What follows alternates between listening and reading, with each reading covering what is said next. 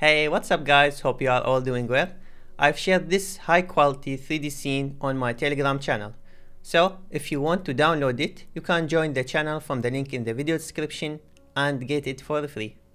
Also, I'm interested to know what kind of resources do you find it more useful? Do you want exterior 3D scenes or do you prefer interior scenes? Or maybe you want high quality PBR materials?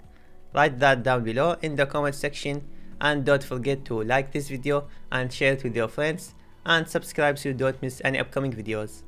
Now I'm going to leave you with the scene. Enjoy!